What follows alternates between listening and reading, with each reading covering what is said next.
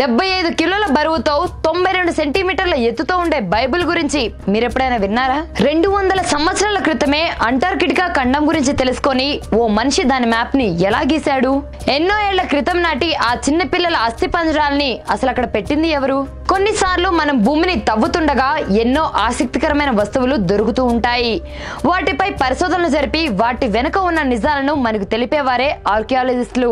అలా ప్రపంచ వ్యాప్తంగా ఎన్నో ఆసక్తికరమైన మనకు తెలియని విషయాలను ఆర్కియాలజిస్టులు చెప్పారు. కానీ భూమిలో దొరికిన కొన్నింటికి మాత్రం ఇప్పటికీ కూడా సమాధానం లేదు. అలా ఆర్కియాలజిస్టులకు కూడా అంతు చిక్కని ఆ రహస్యాల గురించి ఈరోజు మనం తెలుసుకుందాం.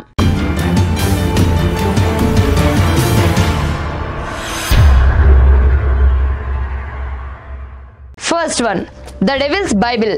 Codex Gigas అనే బైబిల్ను డెవిల్స్ బైబిల్ అని అంటారు. దీని వెనుక ఎన్నో అంతు చిక్కని రహస్యాలు దాగున్నాయి. పదమూడవ శతాబ్దానికి చెందిన ఓ మాంక్ డెవిల్ చెప్పిన మాటలను విని ఈ బుక్ను యానిమల్స్ స్కిన్ పై ఒక్క రోజులోనే రాసి ఉంటాడని అంటారు. ఇంత పెద్ద పుస్తకం కోసం సుమారు నూట అరవై జంతువుల చర్మాలు అవసరమవుతాయి. ఈ బుక్ మొత్తం ఒకరి హ్యాండ్ రైటింగ్ తోనే ఉంది. అంటే ఒకే మనిషి ఈ బుక్ను రాశాడు. అది కూడా ఒక రోజులోనే రాశాడు. కానీ ఆ వ్యక్తి ఎవరు? ఈ బుక్ ఎందుకు రాశాడు?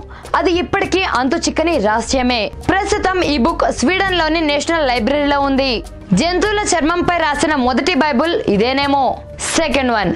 The Piri Reis map. పదిహేను వందల పదమూడులో ఓ టర్కిష్ నావీ అడ్మిరల్ గీసిన ఓ మ్యాప్ ఆర్కియాలజిస్టులకు పంతొమ్మిది వందల ఇరవై తొమ్మిదిలో దొరికింది. ఈ మ్యాప్లో యూరప్ నార్త్ ఆర్కిటికా బ్రెజిల్ కోస్ట్తో పాటు అంటార్కిటికా కూడా ఉంది. కానీ ఆ మ్యాప్ గీసే నాటికి అంటార్కిటికా ఖండాన్ని అంతవరకు ఎవరూ కనుక్కోలేదు.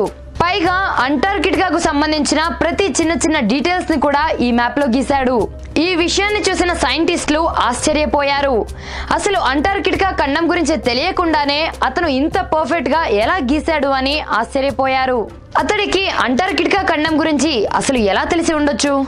Third one Roman dodecahedrons. పద్దెనిమిదవ సెంచరీ స్టార్టింగ్లో వేల్స్ నుండి హంగేరీ వరకు ఎన్నో ప్రదేశాల్లో నూట పదహారు డోడకెహెడ్రీ రోమన్ ఆర్టిఫాక్ట్స్ దొరికాయి. ఇవి స్టోన్ లేదా బ్రోన్స్తో చేసి ఉంటారు. ఇవి నాలుగు సెంటీమీటర్స్ నుండి పదకొండు సెంటీమీటర్స్ సైజులో ఉన్నాయి. కానీ ఇవి ఎందుకు ఎలా ఉపయోగించేవారో ఇప్పటికి కూడా తెలియదు ఇవి టెంపుల్లో దొరికినందున దీనికి ఏదైనా రిలీజియస్ సిగ్నిఫికెన్స్ ఉందేమో అని అనుకున్నారు. కొందరు ఇది చిన్నపిల్లలు ఆడుకునే బొమ్మ అని యుద్ధాలలో ఉపయోగించేవని క్యాండిల్ స్టిక్ హోల్డర్స్ అని అనుకునేవారు. కానీ దీని గురించి రోమన్లో ఏ విధమైన ప్రూఫ్ లేదు. దీన్ని ఎందుకు ఉపయోగించేవారో ఇప్పటికి కూడా ఎవరికి తెలియదు అవి ఆట బొమ్మలా? యుద్ధాల్లో వాడే ఇన్స్ట్రుమెంట్సా? Fourth one. The Longyou grottoes రెండు వందల పన్నెండు బీసీలో మనుషులు నిర్మించిన ఈ గుహలు సుమారు ముప్పై వేల స్క్వేర్ మీటర్స్ విస్తీర్ణంలో ఉన్నాయి. ఈ గుహల్లో రూమ్స్ బ్రిడ్జెస్ పూల్స్ కూడా ఉన్నాయి.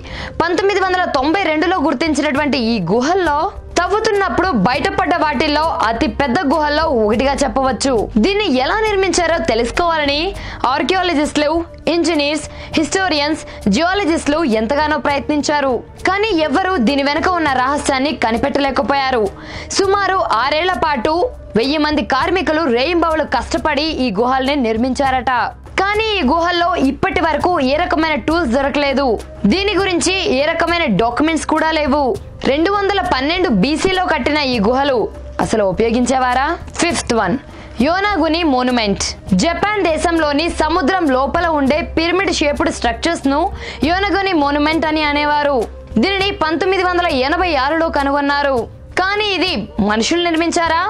లేదా ప్రకృతి వల్ల ఏర్పడ్డాయా అనే విషయం ఎవరికి తెలియదు యూనివర్సిటీ ఆఫ్ రిక్యూస్కు చెందిన ప్రొఫెసర్ మీసాకి కుమారా దీని గురించి మాట్లాడుతూ పదివేల సంవత్సరాల క్రితం ఆ ప్రదేశంలో నీళ్ళు లేనప్పుడు మనుషులు నిర్మించారని చెప్పారు.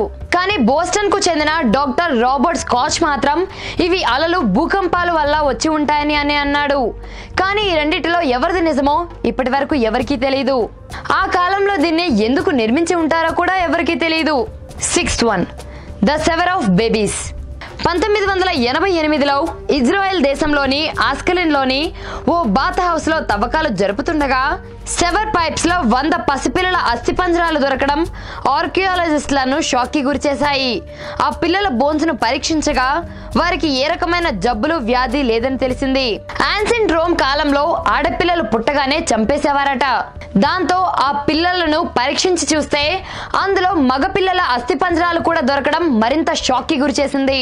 కానీ అలా పసిపిల్లలను చంపి ఆ పైప్స్లో ఎందుకు పెట్టారో ఇప్పటి వరకు ఎవరికీ తెలియదు పసిపిల్లలను చంపి ఆ పైప్స్లో పెట్టడానికి కారణాలు ఏమై ఉంటాయి? చూశారు కదండి? ఈ వీడియో కనుక మీకు నచ్చినట్లయితే లైక్ చేయండి షేర్ చేయండి. ఈ వీడియో మీద మీ అభిప్రాయాన్ని కింద కామెంట్ రూపంలో మాకు తెలియచేయండి. అండ్ అలాగే మా ఛానల్ని సబ్స్క్రైబ్ చేసుకోవడం అసలు మర్చిపోవద్దు.